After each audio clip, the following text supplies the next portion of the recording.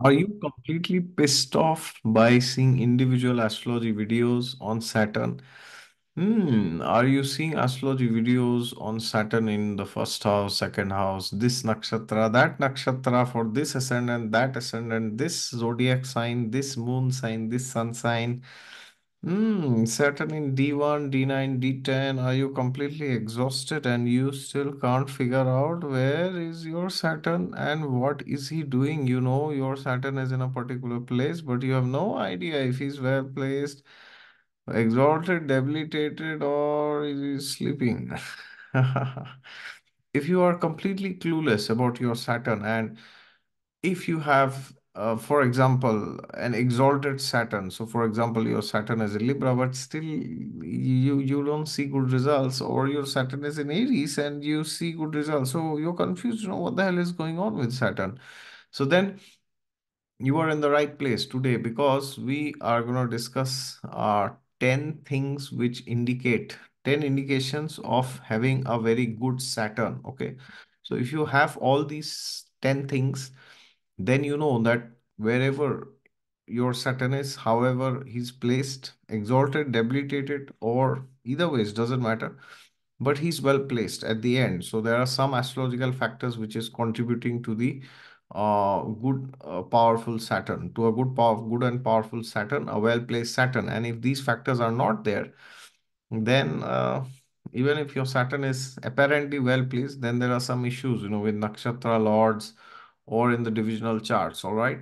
So after hearing all this, please let me know down in the comments which one of these do you have and what are other some good indications of a powerful Saturn that you have seen in people's lives okay and as usual if you're new then please subscribe to the channel and if you haven't yet uh, seen my other videos on Saturn you will find them in my Saturn playlist I have a playlist on Saturn all right God is there with you all the time just look to him and you will find him for sure and for consultations you will find my website down in the description section all right let me go to my notes. What is the first?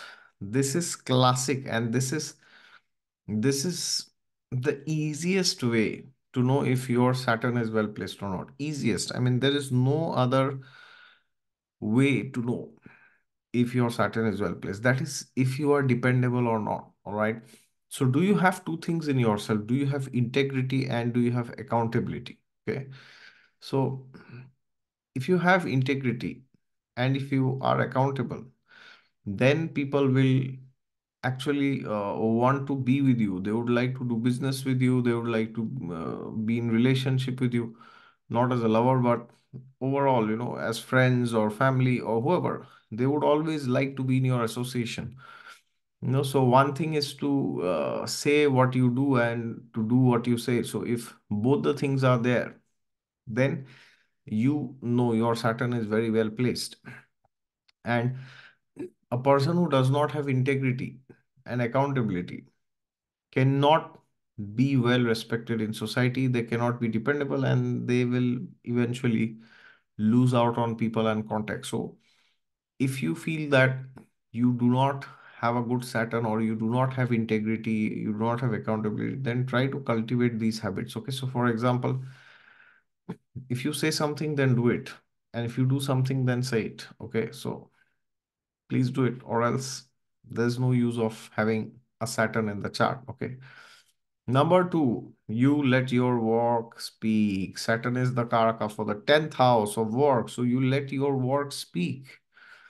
Okay, so if your Saturn is strong, then your work will speak for you, speak itself. Now, what does it mean, speak itself? It doesn't mean you don't have to do any marketing or sales or something like that. But you will be so good at your work that people will people will make people will give you free marketing, you know, word of mouth marketing.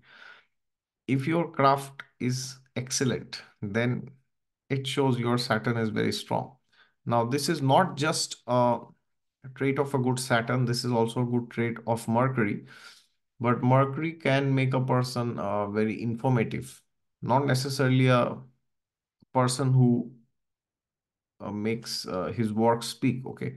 But of course, along with a good Saturn, a good Mercury will surely help this. Okay. So therefore, if your Saturn is good, then you should uh, you should be naturally letting your work speak. And does it happen that uh, people come and praise you for your work? You know, in general, you know, like uh, not for any event or deadline, but in general, you know, they say, "Oh, you are very professional. You know, you do things properly. You do things well. You know, you you are dependable. Basically, the same factor. You know." Uh, uh, but uh, if you are dependable, then you know your work will speak. Okay, but just being dependable may not mean that your work speaks. But this is something much more. You know, you are so uh, you you you are doing things so well that you you just don't uh, be dependable by you know getting deadlines done, but you go the extra mile. Okay, because for that you need hard work, and that only happens if Saturn is there, well placed. All right. Number three. You do not beat around the bush, you maintain complete honesty. Okay, so for example, if your Saturn is well placed, then what happens if somebody gives you a task, you are honest and you say, "Oh, this is something which is beyond my beyond my capacity," or they may say, "Oh, I will give you five days for this." You may say, "No, no, uh, five days is not sufficient for this. No, I need 10 days or 20 days, or I can't do this at all." Okay. Or if somebody thinks you need 10 days, you will still say, no, I can do this, you know, in two to three days. I don't need 10 10 days for this. So there is some level of good honesty that you maintain. And this is very important because um, otherwise, you know, people can't depend on you. Uh, you are beating around the bush, you know, giving stories, making excuses all the time. Okay. So therefore, uh, complete honesty is required, and this is primarily from a professional standpoint, but it also holds true in uh, generic areas of your life. Okay. Otherwise, uh, hmm, Saturn is not very well placed in your chart. All right. Now, number four, this is huge. This is this is brilliant. I'm telling you, you know. This is also, I think, after point number one, this point number four is most important. Okay, which is you take responsibility for your own mistakes. Okay. So if Saturn is well placed, you will take responsibility for your own blunders. Should I say mistakes or other errors or maybe blunders? Uh, there are people who see there are three things. You know, one is error, one is mistake, and then there's a blunder. Okay, so in Kali Yuga, people don't even take responsibility for their blunders. What to speak of mistakes and errors? So if you have done a mistake, then you should be saying that, yes, this is my fault. I will try not to repeat it. This is my mistake. And I take full responsibility. Again, the point number one, it says is similar. Okay. You are accountable, you you have integrity. Okay. So if you if you take responsibility, then what happens is people understand that you are a genuine person and they want to associate themselves more with you. Okay. Otherwise, uh, if you don't take responsibility, if you are always, you know, pushing the, what, what, what do they say, pushing the buck, right? Um, then uh, people can't trust you because they say, okay, if some if, if you fail, then you will blame somebody else. Okay. So uh, this is primarily uh, true with narcissistic people. You will see them people who are very narcissistic. They will always blame somebody else. Okay, they will blame their spouse. They'll blame their you know parents, childhood trauma, or whatever. Some some some fancy thing like you know sometimes they will also blame the government. Okay, they will blame the country. They will blame the uh, neighbors, and at the end they blame God. Right. So, um, if you have a good Saturn, then you take full responsibility for your mistakes. Otherwise, you just uh, keep uh, passing the buck. Okay. And number five, this does not need any introduction. This is something which you might have thought would be point number one, but could be point number zero also, which is, you know, you have a lot of discipline in your life. You know, you you get up at a specific time you you know work uh, in a specific time you know you sleep at a specific time so you do not have you know like uh, super erratic schedules okay? Sometimes there could be some issues uh, which is uh, but natural but uh, uh, you don't have like you know super erratic schedules where uh, it's like okay today I sleep at 10 tomorrow I sleep at 2 okay uh, today today I get up at you know uh, 5:30 tomorrow at 3:30 and then the next day I get up at 2 in the afternoon okay? So if this is how your life is if your life is this erratic it's, it's this uh, disastrous then you need to have discipline okay? So one of the easiest ways to cultivate discipline is to take it slow. So for example if you want to uh, cultivate discipline to go to the gym for example. Then uh, if you suddenly commit i will go to the gym every day it will not work. So first you should commit you know i will go to the gym once in 3 days. Okay so for one month you commit. Every week two times you will go to the gym okay? Initially you can say okay i will go once a week then twice okay? Then you can say okay i may go also thrice okay and then it's up to you. Want to go four times five times you know uh, alternate days that that that's a separate discussion. But uh, it's like that. So even with sleeping you can put a limit on yourself that you know uh, three times a week i will i will sleep at maybe you know mm, 9 maybe 10 or whatever that you decide. But make a plan uh, have discipline uh, take it slow uh, gradually increase the frequencies and then stick to it okay very very very important okay number 6 you organize and structure things appropriately you you you are a master of priority management so if your Saturn is well placed in the chart, you will know how to prioritize things depending on their urgency. You know, there's this block, you know, urgent, uh, important, uh, not urgent, not important. You know, we know that quadrant is there, right?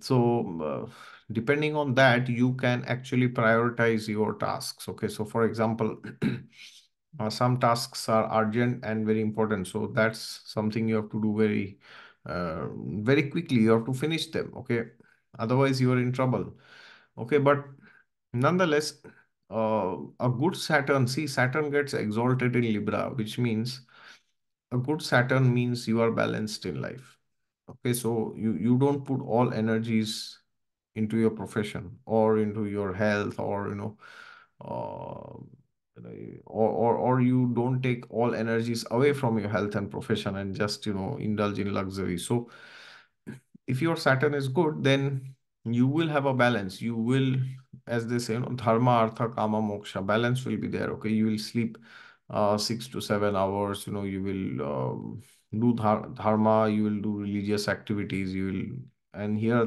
dharma just does not mean religious activity. It can be you know some morning schedule some spiritual practices you know going to the gym in improving yourself. That's basically uh, dharma in context of saturn. Okay so then we have artha which is profession then kama is there which is you know your relationships and pleasures. So a good saturn will keep all these things balanced. Okay um a bad Saturn will wreak havoc. You know, suddenly you will feel, oh, I will give all my time to this or that. You know, that's not very healthy. Number seven, you do not procrastinate. Now, of course, everybody does this to some extent, but if your Saturn is badly placed, you will do it perpetually. It's like, you know, there's no end to it. So, therefore, if you want to improve your Saturn, then you have to stop procrastination. Otherwise, uh, very difficult. No, because you, you, you will feel that uh, it is uh, it's very easy to procrastinate. So so why do people do procrastination? It is because it's like taking the easy way out. Because see, when when you procrastinate something, what is happening is the issue is according to you, the issue is not very urgent, or even if the issue is urgent, you don't feel it's urgent. That is why you delay it till the end, right? Uh, now, because of that, you know, you have to pay later, right? Because suppose uh, there's some health issue in your body and you are not oh, uh, solving that, then you will you will perpetually you know try to do something else and you know you will try to you know not visit the doctor maybe or not make the dietary changes or not take medicine so next time when you are forced to address it you will have to address it with interest Okay, so therefore, you have to understand something uh, in context of Saturn. So, uh, if your Saturn is good, then you will address it appropriately, not immediately. You may not address. So, suppose there is some problem, it doesn't mean you will just address it immediately. You will you will put it into your schedule. You will have a calendar slot. You will you will make time for it. Okay. Otherwise, uh, you need to know that this will be uh, th th this will be something which you will regret later. Okay. So therefore, if you do not procrastinate, as I said, somebody will, people will always do, but you know, one one thing is like, you know, doing it perpetually. So if you don't do perpetually and you take responsibility, you do things, then your Saturn is much more well placed. Okay. Number eight, this is classic. Okay. Very, very, very important. Number one, four, and eight. Very, very, very important. Number eight is you do the hard tasks before. Okay. So, for example, uh, many people tell me that they want to chant mantras or go to the gym, you know, like, or sometimes even make YouTube videos. So, among among all the activities in a person's life I've seen, Uh, number one is very difficult. Uh, number one activity that's most difficult is chanting mantras. Okay. Then second is uh, going to the gym or doing yoga and all this. Very difficult. It takes a lot of mm, efforts to uh, get it done. Okay. Um, otherwise, it is it, it can wreak havoc sometimes. Okay. It it can put you off your schedules for way way way long time. Okay So therefore, uh, you have to understand that if you want to do something substantial in life, the first thing you have to do in the morning, you know, as the scriptures encourage, go and take a cold water bath. Very, very, very important. I've said it a thousand times. Also in my moon remedies video, I have said this. Okay, so take a cold water bath, very difficult. Then do some spiritual practices, you know, chanting mantras or whatever, reading the Vedic scriptures, you know, or any scripture that you uh, identify yourself with. So uh, then do do some exercise if uh, that is required, or you know, uh, so, some some some physical activity at least.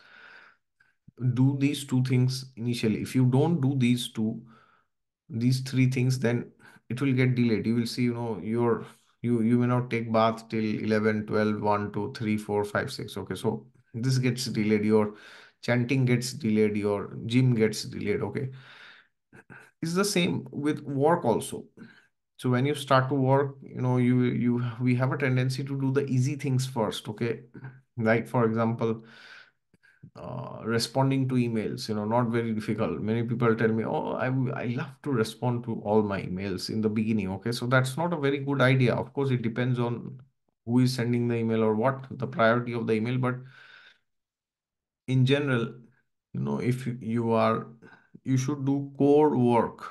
Most important work should be done earliest at the earliest okay? Then later on you can keep doing other things which are not very important but from 9 to 12 in your work you you should do the most important and most difficult task okay? Otherwise that's problematic. Number 9 you make in you make informed decisions okay? Informed decisions means you weigh your pros and cons properly and then you make a decision. Otherwise if saturn is badly placed you can make decisions in a lot of haste and you know um, without doing proper like you know cost analysis you know pros cons you don't see you you, just you just see something and you do it okay? That's very bad.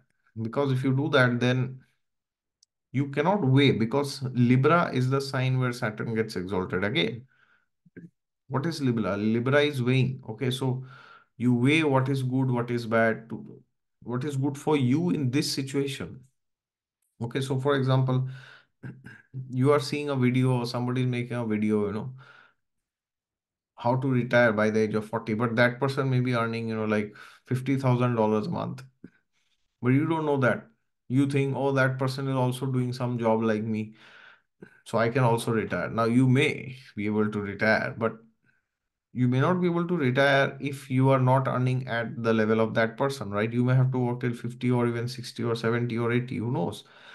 So you make uh, you you take blunder you do blunders without keeping the context in mind. Okay, so your your choice of decisions uh, is not very good. Okay, you you make bad decisions. Okay, because you are either not in you are like misinformed or you're not informed at all. And who has to inform you? You yourself. Okay, nobody is going to come and inform you.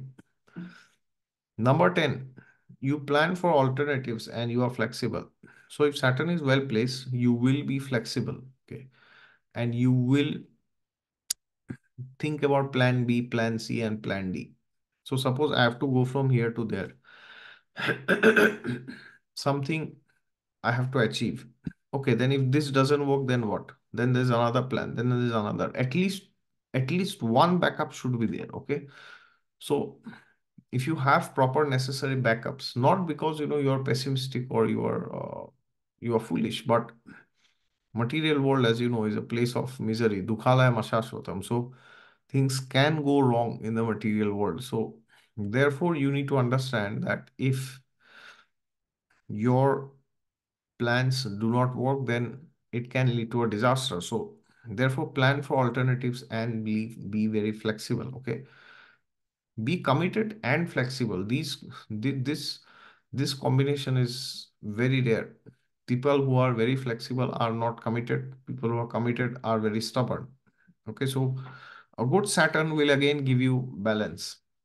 When it's required, you have to be stubborn and you have to be accountable. You have to have integrity. You have to be honest. You have to be brutally true to the core. But when there's flexibility required, you have to be flexible. Okay, otherwise you you lose out again. Okay, so therefore, I hope these 10 things helped you to see if your Saturn is good or if they are bad, okay, irrespective of all the things in your chart, all right? So if you're new, then please subscribe to the channel and thank you for uh, watching till the end. And for consultations, you can always go to my website down in the section, uh, in the description section, all right? God is there with you all the time. Just look to him and you'll find him for sure.